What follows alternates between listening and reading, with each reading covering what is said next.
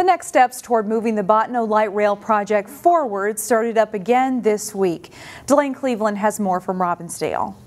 Imagine being 90% finished with something only to have to go back to square one. That's essentially where we are with this Blue Line Extension project. Monday was the first of several meetings where people could learn more about the latest reincarnation of this project.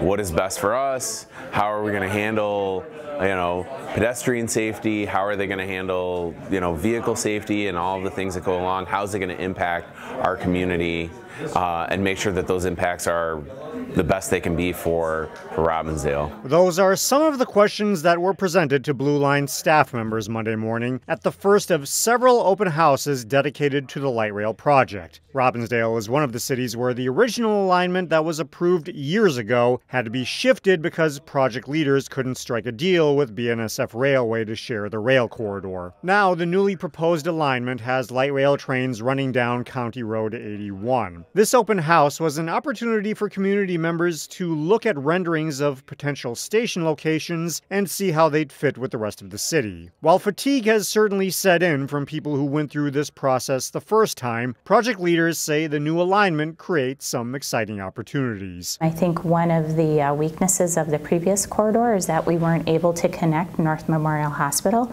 Now we have an opportunity to do that, kind of really bring um, folks to the hospital and not just you know folks that are obviously using the hospital, folks that work there. Project leaders say they hope to have a community supported alignment in place by the end of this year or early next year.